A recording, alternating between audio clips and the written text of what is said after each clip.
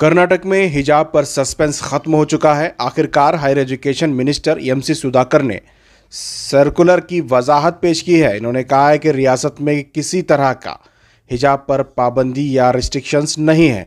Circular में हिजाब का ज़िक्र नहीं है। हिजाब पहनकर इम्तहान में हिस्सा ले सकते हैं। ये सिर्फ़ माल प्रैक्टिसिंग को रोकने के लिए इस तरह की गाइडलाइन जारी की है। इन्होंने वाजे किया है कि हिजाब पहनने वाली लड़कियाँ एक घंटा पहले एग्ज़ाम सेंटर पहुंचकर तफ्तीश कराएँ।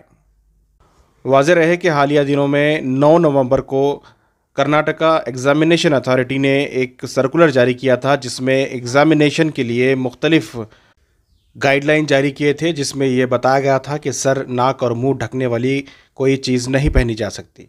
इसकी वजह से अवाम ये मैसेज गया था कि अब हिजाब पर पाबंदी है, लेकिन जिस तरह से higher education minister M C Sudhakar ने वजाहत पेश की है। उसे साफ़ ज़ाहिर हो रहा है कि अब हिजाब पर किसी तरह की कोई पाबंदी नहीं हालाँकि कुछ ही दिनों पहले higher education minister M C Sudhakar ने नीट और मुख्तलिफ़ इम्तहान में हिजाब पहनकर इम्तहान में हिस्सा लेने की इजाज़त दी थी।